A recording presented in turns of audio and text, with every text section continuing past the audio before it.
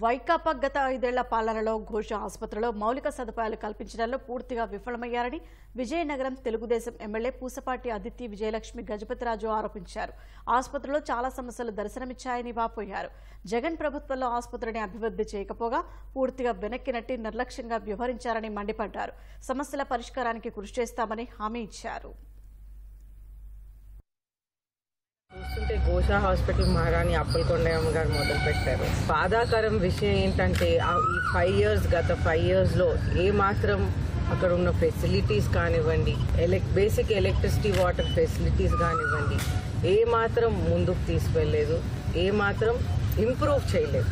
ఎప్పుడైనా ఒక ప్రభుత్వం మారి మారినాక లేకపోతే ఏ ఎప్పుడైనా సరే ఫైవ్ ఇయర్స్ గడిచినప్పటికీ ఎంతో కొంత మినిమం ఇంప్రూవ్మెంట్ అనేది అన్ని రంగాల్లో మనం చూస్తాం. కానీ ఈ వైసీపీ ప్రభుత్వం అయితే అది అప్పుడు ఎలాగుందో వదిలేకుండా అది వెనకబడే తరంలోకి తీసుకువెళ్ళిపోయారు అన్ని తీసుకెళ్ళినట్లే ఇది కూడా గోషా హాస్పిటల్ కూడా అదే విధంగా వెనకాతలు తీసుకువెళ్ళారు